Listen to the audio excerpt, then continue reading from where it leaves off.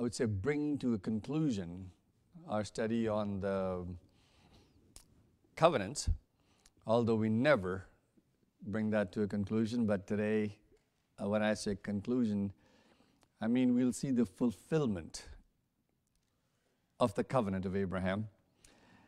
And uh, once we do that with today's study, we will then go on to see what happens to the Jewish nation, to the Jewish people, and uh, how the church builds from that Jewish nation.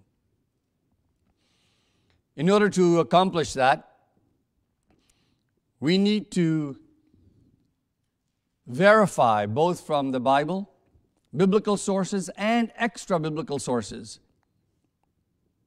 what evidence we may have that Jesus Christ was indeed the fulfillment of the covenant of Abraham. And we will see that today. And in order for us to conclude or come to that conclusion, we've got to review quickly the covenants. You folks remember the covenants? What was the first covenant? That is not really a true covenant by definition of a covenant, because a covenant has what? It has a proposal and an acceptance and a, ceremony, and then it has a meal, right? And then it has a sign, right? In the covenant of Adam, we don't have the proposal and the acceptance, right? We only have the administration of the law, and that law was do not eat from that tree. That was it. And by the way, if we believe that we can gain salvation by keeping the law, just keeping that one law would have been good enough to bring salvation and keep eternal life for Adam and Eve. Just that one law don't eat from that tree. That's it. But even that got them in trouble and got us all in trouble because the sin was questioning God. After that, we have the covenant of Noah in Genesis chapter 9. There are within the covenant of Noah symbols examples of the covenant of Jesus Christ, the Savior. We did not study that in our previous studies, but the rainbow is what we uh, normally consider as the covenant of Noah. After that, we have the Abrahamic covenant, which I believe is a foundational covenant for the salvation of man. And that foundational covenant is in this way in chapter 12 God gives Noah, uh, God gives Abraham how many promises? How many? Three promises. And what were they? He will give them seeds like the sands of the earth and the stars of the sky. He will give them land where they can prosper and be safe, so that the final seed would come through whom how many nations would be blessed? All nations would be blessed. After that, we have the Mosaic covenant. Mosaic covenant was to bolster and strengthen the Abrahamic covenant. And then once again in the Mosaic covenant, we have how many? Three parts to it. One was the moral law, the Ten Commandments, which went where? In the Ark of the Covenant. And they were covered by what? The mercy seat. And the mercy seat in the Ark of the Covenant was where? In the tabernacle. Right? In the tabernacle. And what happened in the tabernacle? Which was controlled by the ceremonial law. What was the ceremonial law all about? The ceremonial law was about redemption, was about eternal life, was forgiveness of sin, and was a civil law. Today we want to focus on the ceremonial law a little bit more in that what happened in the ceremonial law? The ceremonial law said, if you sin based on those commandments that are in the Ark of the Covenant, you ought to take a sin offering And by the symbolism of the sin offering, you confess your sins, and by the slaying of the offering and by the blood, it symbolized what? The people didn't really understand the coming of the Messiah, but in God's terms, what did that blood symbolize? The coming of Jesus Christ, the Messiah. And then once a year, in the seventh month, they would have nine days of what they call the Feast of Trumpets. During the time, people reviewed their sins and came to confession. This was a time of judgment. At sunset of the ninth day till the sunset of the tenth day was a day of atonement. Right? Was a day of atonement.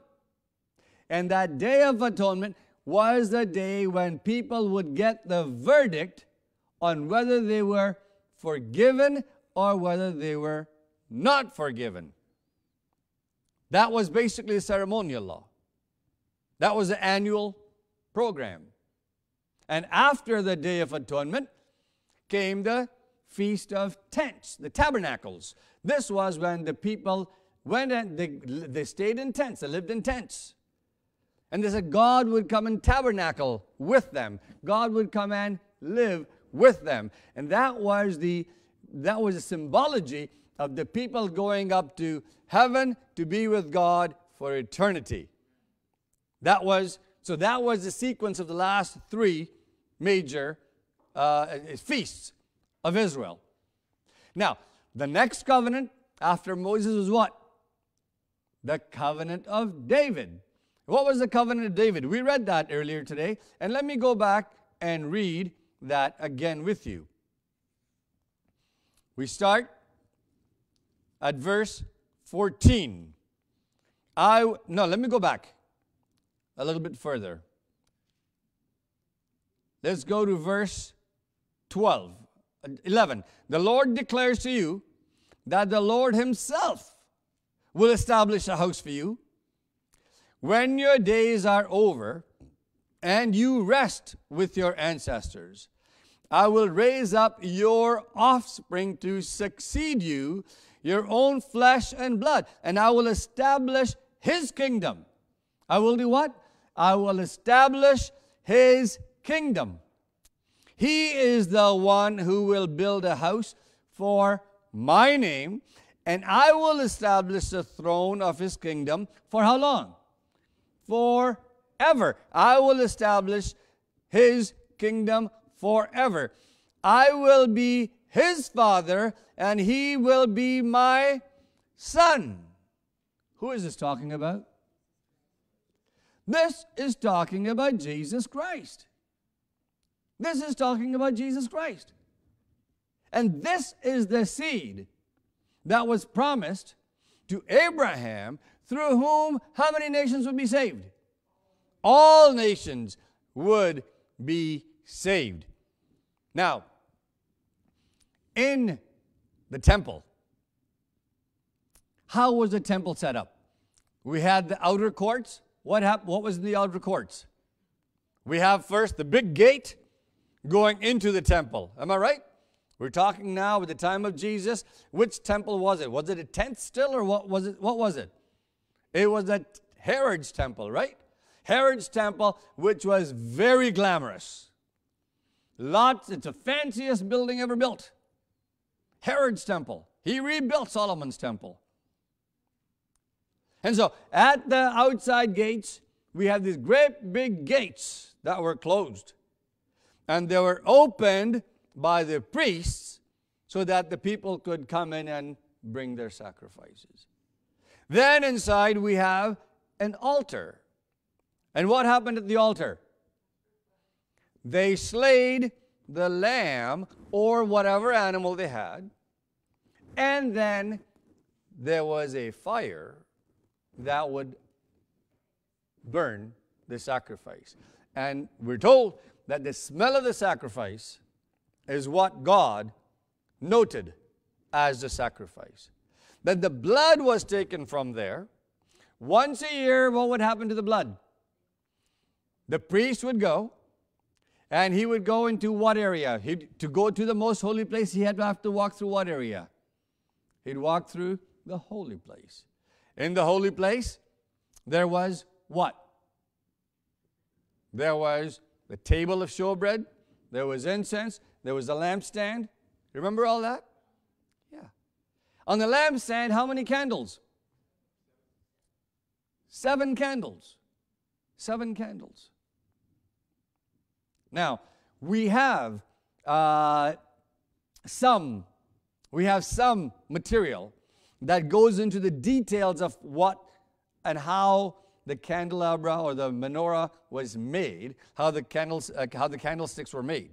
We won't go into the details of that because there's some debate on it. But what did the candle, uh, or what did the lampstand indicate? What was it? What was it supposed to uh, represent? The light represents what? Knowledge. Light gives you knowledge. Knowledge from whom? Knowledge from God. Knowledge from God. So there was a door which opened for the people, but it was closed at certain times. There was a candelabra, let's call it, the candlesticks, which indicated that they were the Word of God, the wisdom of God. Then on the Day of Atonement, they used to bring some sacrifices. What sacrifices did they bring? First, the priest had to bring a sacrifice, and that sacrifice had to be a bull on behalf of himself and his family. The priest had to confess all of his sins and those of his family, and then he would take the blood on his one finger and he would go into the most holy place and sprinkle it, we're told, seven times. He would touch it on the on the uh, on the mercy seat, then he sprinkled it seven times. Then he would go back out and sacrifice a goat. Where did the goat come from? They used to bring two goats. They used to bring two goats.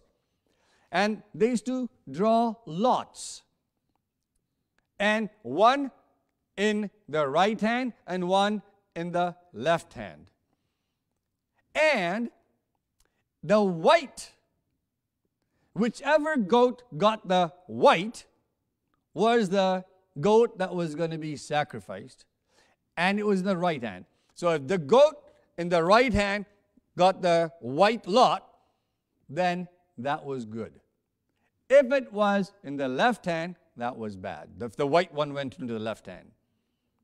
But they would sacrifice the goat with the white stone, with the white lot. And the other one, the one with the black one, they would take it outside the gates of Jerusalem. And what did the priest do? This is not in the Bible, it's in the Jewish literature, in the, in the Mishnah and the Talmud. The priest's clothing used to be such, God told them how, what to wear. The priests used to, with their robe, they used to wear a scarlet, a crimson color belt, a ribbon, if you will. So, what did the priest do? He used to take that crimson colored, that scarlet color belt, that ribbon, he'd cut it in two. And he would tie that one part to the head of the goat. And he would take the other half and tie it to the handle of the door. And what they believed that when the goat was left out in the wilderness, the goat would eventually die. But when the indication from God was that He accepted their offering, the color of the ribbon would change from scarlet to pure white. Pure white. And we have that in Jewish literature, both in the Talmud and the Mishnah. That was the indication to them that God accepted their confession and their sin offering. Now, so we have what? The lot that had to come up in the right hand. And this didn't always happen. Some half and half, let's say. So half the times it was white, half the times in the, in the wrong hand. So, depends. It's game of chances, if you will. In the scarlet thread, we're told that it did turn white. And the priests did their work with opening the doors. And the priests had a job to do with the lampstand. What did they do?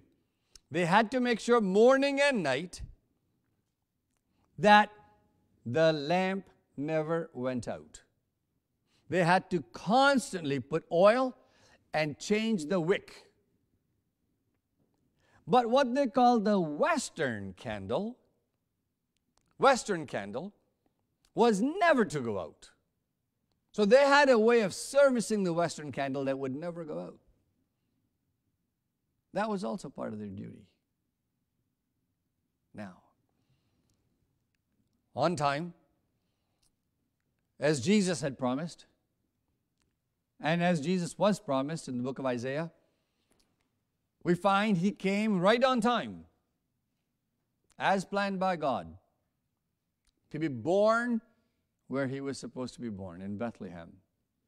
At the right time, we studied that earlier.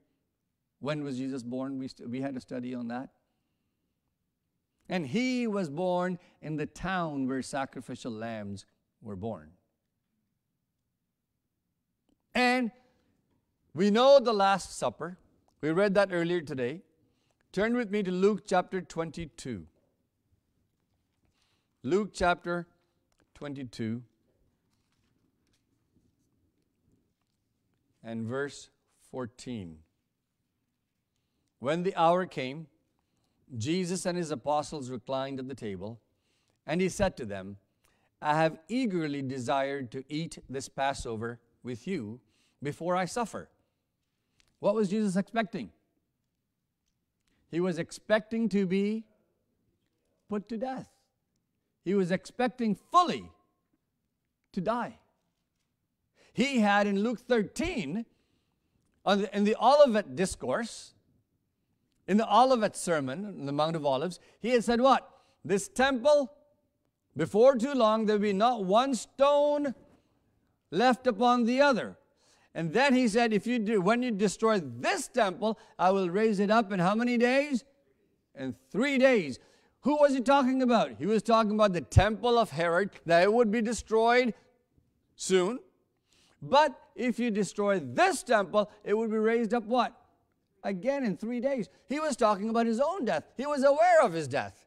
Now he is talking to the disciples in 22, in chapter 22, and in verse 14 he says, for I tell you, I will not drink. Where am I? Oh, I jumped a bit. I have eagerly desired to eat this Passover with you before I suffer. For I tell you, I will not eat it again until it finds fulfillment in the kingdom of God. Until what finds fulfillment? His work. Take this and divide it among you, for I tell you, I will not drink again from the fruit of the vine until the kingdom of God comes. That's verse 17 until the kingdom of God comes.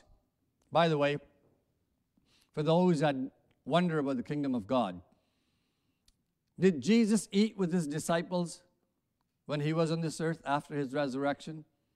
He did. He did. You know why? Because the kingdom of God started at his resurrection. That is when he defeated Satan. The kingdom of God on this earth was at his resurrection. Verse 19, and he took bread and gave thanks and broke it and gave it to them, saying, This is my body given for you. Do this in remembrance of me. Verse 20, in the same way, after the supper, he took the cup. This cup is the what? New covenant in my blood, which is poured out for you. What does that mean? New covenant. What is Jesus doing to the old covenant? What is he doing to the old covenant? Is he canceling it? No. He said, I am come not to destroy the covenant, but to fulfill the covenant. On that Passover, at three o'clock in the afternoon on that Friday, when all the paschal lambs were being slain, we're told, At that same hour, Jesus cried out, My God, my God, why hast thou forsaken me? The Bible tells us, then he said, It is finished. And he bowed his head and died. What is finished? What is finished? The covenant of Abraham is complete. The work of the covenant is done. And what happened around him when that happened, when he died? The sun stopped to shine. The world became dark. And that most holy place, which recognized the day of atonement for the people of Israel as a special people whose sins were forgiven, what happened to the curtain? The curtain was torn. The curtain was torn from top to bottom. What did that indicate? What did that indicate? That indicated that the work of the covenant was finished. The work of the old covenant was done, it was complete. And this is recorded in the Bible. The Bible is a record of the early Christians and the disciples. They kept that record of what things that they had seen and what they had heard but they did not have access any longer to the tabernacle. They were Christians. So, we have the Jews, the rabbis, keeping record of what happened in the tabernacle after that day. After that day. You know, there were other supernatural things happening in the tabernacle. There were other supernatural things happening. And it's recorded. The history of the Jewish faith is recorded in the Talmud. There's two versions of the Talmud the Jerusalem Talmud and the Babylonian Talmud. The Jerusalem Talmud is considered more authentic. But what I'm about to share with you is recorded in both Jerusalem and the Babylonian Talmud. You know that door that was so big, that was so heavy, that it took a couple of people to open it, the door to the tabernacle. We're told that when they closed the door, the doors used to open by themselves. The Talmud records that the temple was destroyed in AD 70. And it says after AD 30, approximately AD 30. When was Jesus crucified? At AD 30. There's an approximately for 40 years. Get this. For 40 years, the doors were just open. Nobody opened them. Why? Because the covenant of Abraham was fulfilled.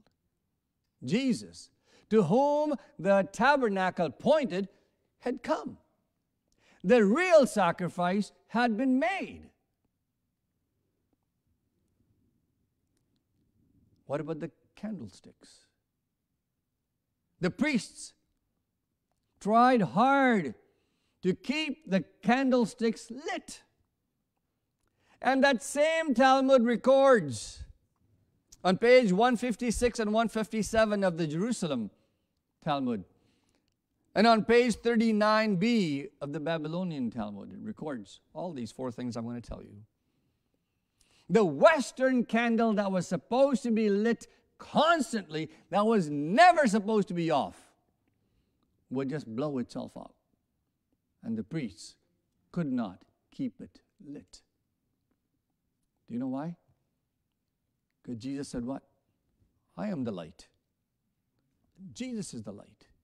He is the wisdom of God. He is the knowledge of God. He is the law. Jeremiah said, I will take the law and write it where? In your hearts. The previous law, the old covenant law, was on tables of stone. And it was outside. But we're told that Jesus is going to live where? Inside this temple, inside this body. And He becomes the law inside you and I. Therefore, that is a fulfillment of the prophecy of who Jesus was. And that law is now in us, not outside. So Jesus was the sacrifice and he was the law. He was the wisdom. And this is what records and gives us the knowledge of who he was. He is the Word. The goats. The same Talmud records that as of the year that the temple was destroyed, in the year 70, the Talmud records that for 40 years consecutively, when they cast lots for the goats, not one time did the white lot come in the right hand of the priest. Not once in 40 years. You know why? Because there was no longer a need for that earthly sacrifice. Why? Because that sacrifice was Jesus Christ. He had done the work. He had finished the work. He was a symbol. There was a symbolism. The goats were the symbolism. But he was the real thing. And this is not Christians recording this, these are Jews recording it.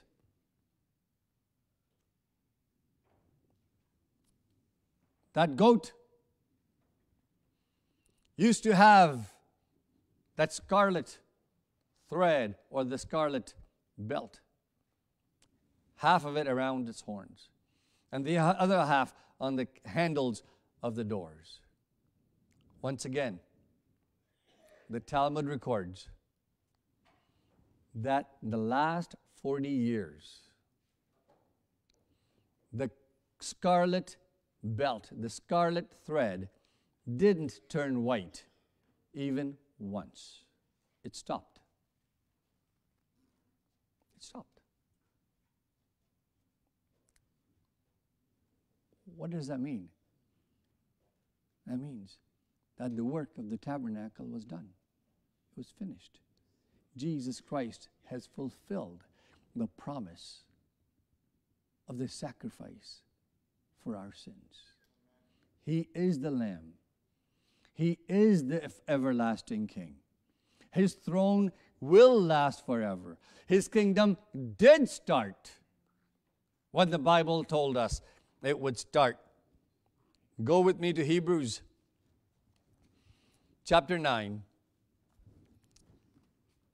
Hebrews chapter 9.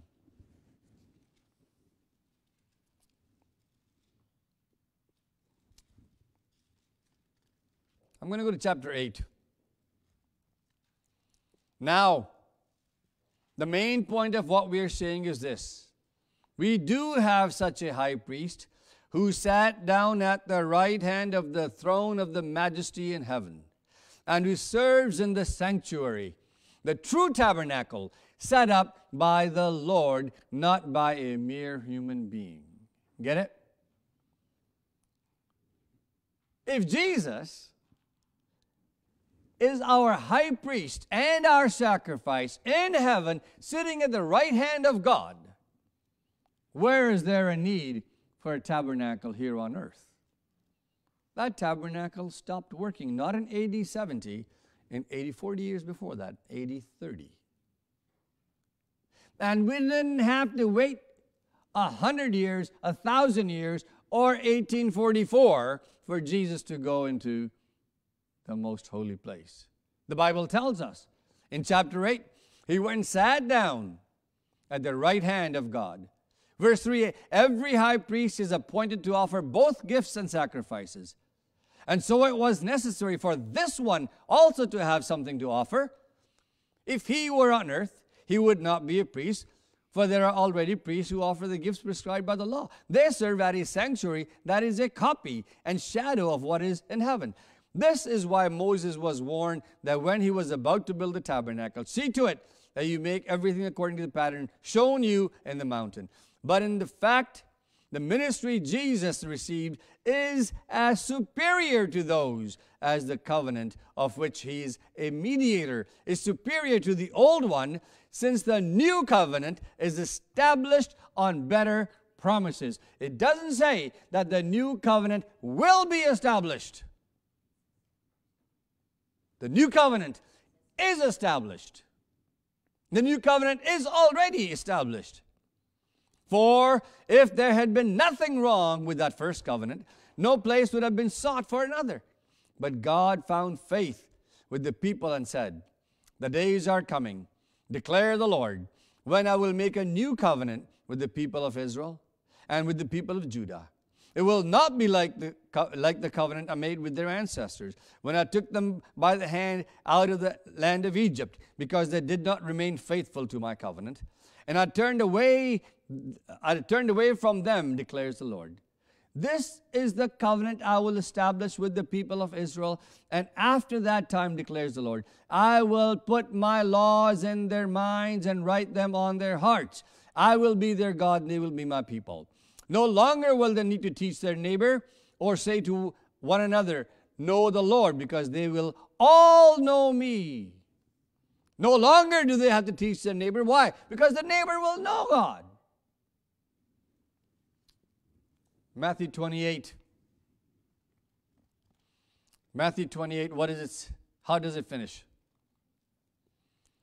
Matthew 28 finishes by saying this All power in heaven and earth is given, what? Is given to me.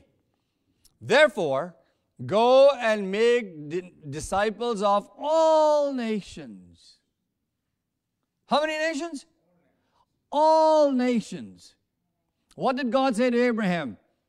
Through you, how many nations will be blessed?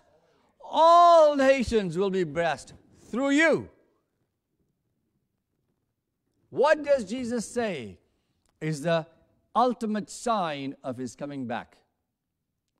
When the gospel of, when the message of this gospel is given to all the world, then will the end come. God didn't make the plan of salvation for the Jews, He made it for all nations. And He kept the remnant that they may reach all nations, that through the Jews, all nations would be blessed. It is not, I believe, a true or biblical teaching to say that God despised or was angry with the Jews, that he destroyed the temple because he, he was hateful to them.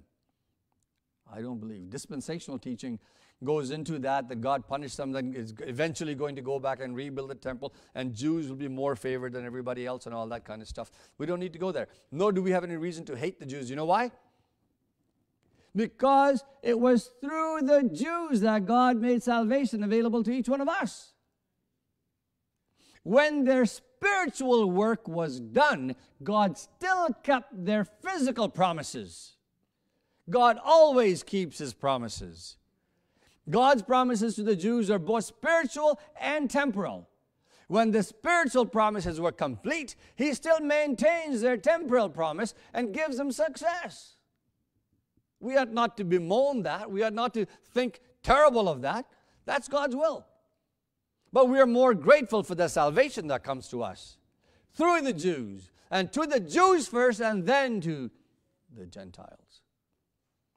It is for this reason going, when we start studying the book of Revelation, you notice that Jesus tells John, Write to who? Write this to the what? seven churches where? Where? In Israel? In Galilee? Where? In Asia. The seven churches in Asia. What about the most important church in Jerusalem? How come? Not to Jerusalem, but the seven churches in Asia. You know why? They were all the churches that came out of the Gentiles. That they're now part of the plan of God. The church in Jerusalem had done its work. And it was through the church in Jerusalem and through the persecution that the word began to spread. And all nations were blessed.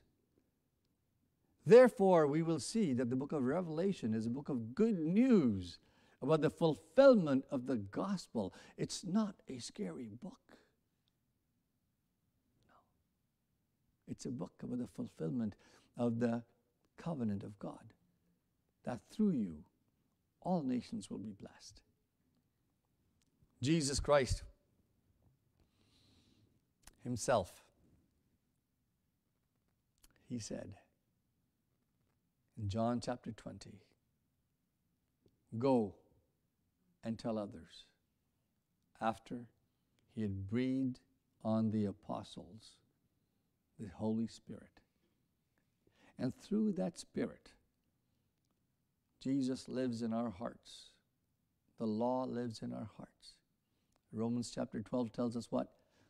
That we are the temple of God. We are the holy temple of God because God now has written the law in our hearts and in our minds. That through His power we may be transformed day by day to be like Him. But let us remember that the fulfillment of the death of Jesus Christ once and for all fulfilled the covenant and all those symbols in the tabernacle were fulfilled right then and right there when Jesus went and sat down at the right hand of the Father. And by the way, there's symbolism behind the right hand and the left hand. The Sanhedrin was the Jewish body that judged people for doing right or wrong. And if a person was found to be innocent, they would sit at the right hand in order that they would be declared righteous and without fault.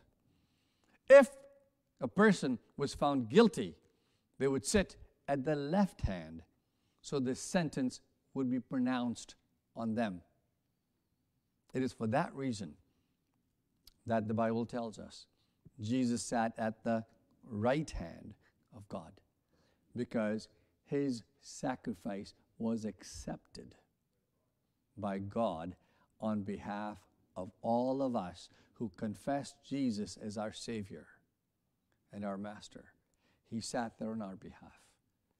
May God grant that as we continue to study the Bible, and I urge you to go home and double check everything you hear from me.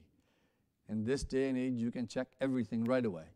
Go home and double check to make sure that what we're learning is in fact biblical and true or historical. May God bless you and continue to pray for me as I pray for you.